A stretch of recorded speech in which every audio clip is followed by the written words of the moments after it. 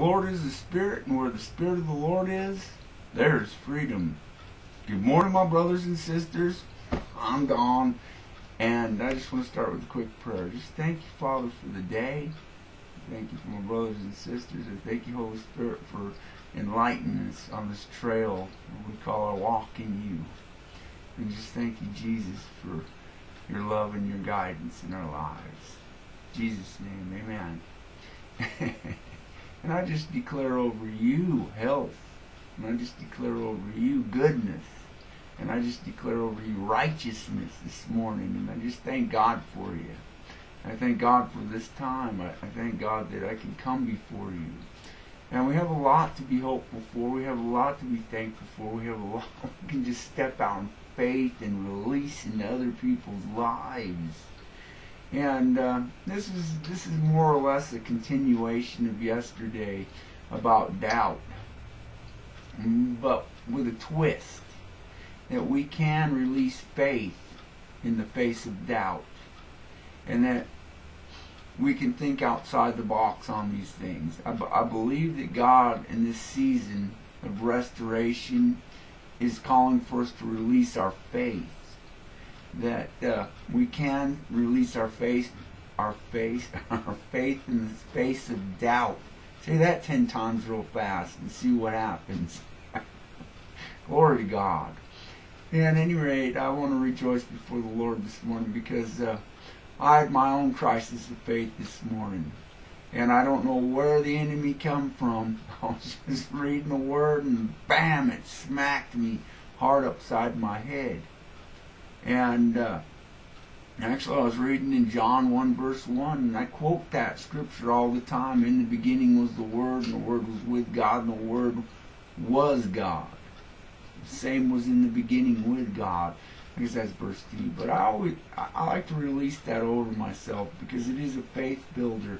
But this morning, when I spoke that over myself, I had a a twinge of doubt all of a sudden came in. I started reading in my ESV study Bible. That's this book right here.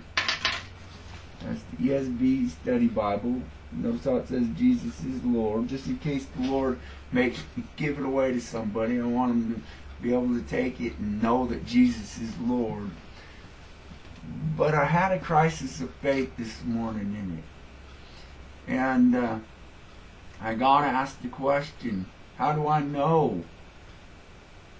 And why do I believe in Jesus? How do I know about Jesus? And how do you know? How do I know it's not just a God like the Jehovah Witnesses? And when that hit me, I mean, it was clear as a bell. It was like it hit me upside my head, and uh, I just felt all of a sudden like, you know, where am I? I'm in confusion. Well, I collected myself real fast and, and bound that thought. You know, it says to cast our, our, bring our thoughts into captivity to the obedience of Christ. So I did that real fast. But that didn't that didn't shake for a while. It took a while to shake that off this morning. I have no doubts about who my Jesus is. He lives bold in me. And I can give you an answer because all because I'm not the same as I was two years ago. That's how I know Jesus is real. I know he's real because he speaks to me. He tells me he loves me. I could go on and on about that, but I don't have enough time this morning because I do have to get ready for work today. But uh, fighting that crisis of faith, that doubt that, that tried to creep in, I mean, maybe the Lord was trying to teach me a lesson. He hasn't, he hasn't uh, spoken to me on this subject, and I'm sure he will sometime during the day. It'll pop up. But uh, I have no questions in my mind now who Jesus is. He is the Lord God Almighty, and He is the great I am, and at that name we will all bow. We will all confess that Jesus is the Lord to the glory of God the Father. And uh, anyhow, when you when you have doubt pop up concerning your faith, you need to turn around and uh, speak faith towards it. This is my faith, and I command you in the name of Jesus to leave. and uh, we just need to release faith in the in the face of doubt. And uh, here's a definition of release. Because on my bed this morning, I'll, I'll back up a little bit. You know me, I'm I'm pretty scrambled. I guess that God makes scrambled eggs too.